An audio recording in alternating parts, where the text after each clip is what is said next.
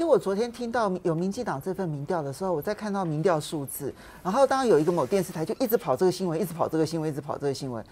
其实，其实我从在台北市的政治判断来讲，我就觉得这份民调怪怪的哈。那感觉上面替某人造势的味道非常非常的浓厚，因为陈时中前一阵子其实已经表态，他。不排除要参选，其实我觉得那等于是明白告诉大家说他会参选台北市长。我觉得林佳龙这边是不是有人急了，所以要急着推出这样的一份民调？那这一点我就我就觉得这民进党内茶壶内的风暴让他们自己去解决。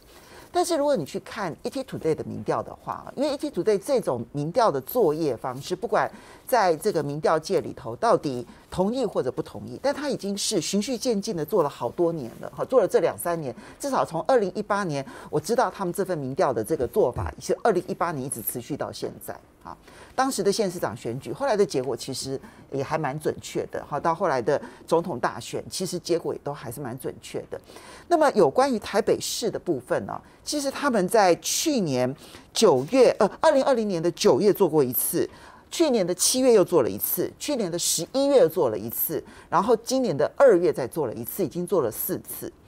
这四次呢，当然都是蒋万安领先，然后呢，陈时中那么差距大概都在十几个百分点。然后呢，这个呃，蒋万安如果跟陈时中跟黄珊珊的话，那个差距啊，其实上上下下。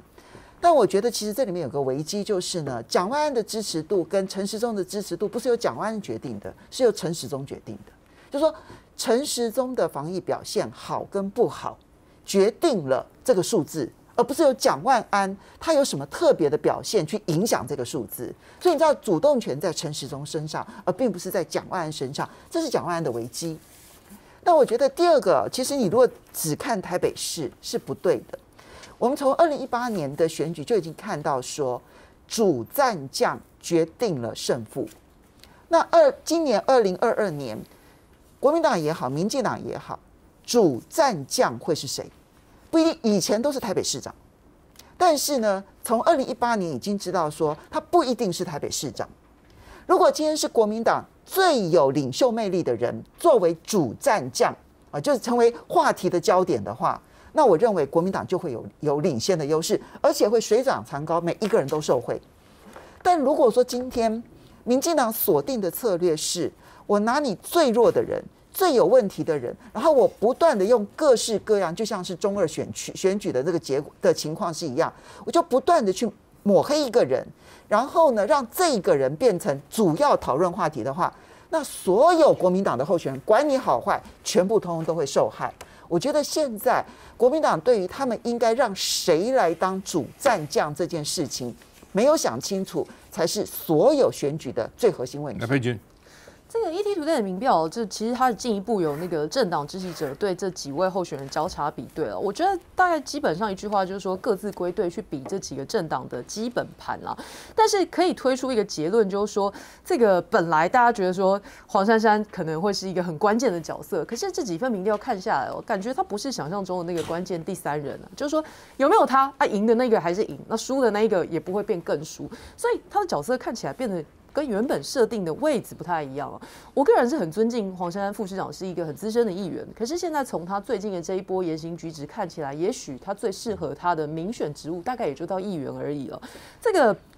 他炮打马前总统这件事情，那当然这两天我觉得绿营建建立欣喜，或者说这是不是想要做成蓝白不合，或者是其他的解读？可是其实我觉得他们忽略了中间的一段脉络，就是这个黄山副市长，他过去是亲民党出身的，他其实到现在虽然用了很多柯市府的光环，然后有很多的媒体资源，可是他始终没有加入民众党，他还是说如果他选这个二零二二台北市长的话，他用无党籍的身份参选，那这个做法也让这个部分的民众党内的支持者对。他不是很谅解，但我要说的是，是他在这段时间里面，为什么大家会突然有点错愕，就说：“哎啊，你为什么突然起手是是炮打马前总统？”我觉得这非常莫名其妙，也跟他过去的做法你可以理解。他在当亲民党议员的时候，亲民党的路线就是打当时的这个马市长，所以与其你说他去这个操作蓝白不合，不如说是他体内顽强的亲民党 DNA 正在发酵当中。可是他做这个做法聪不聪明呢？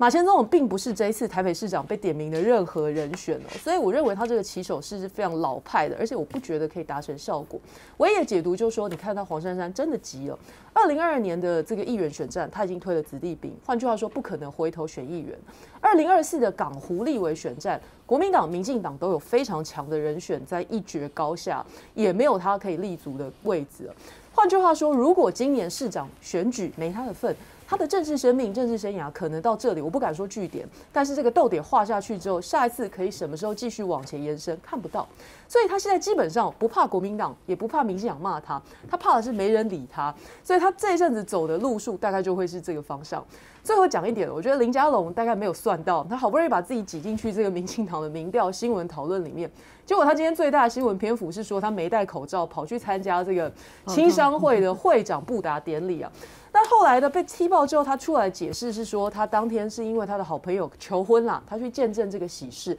那我是不知道林佳龙说谎不打草稿呢，还是说他的朋友品味非常特别，会在会长的布达典礼求婚？不知道要问当天。但是那跟戴口罩都没有关系。对，那还是一样。戴了口罩也可以去看朋友求婚啊。掌握全球情势、国际新闻，全新选择 YT 频道 TVBS 国际 Plus，扩大视野。欢迎订阅并开启小铃铛。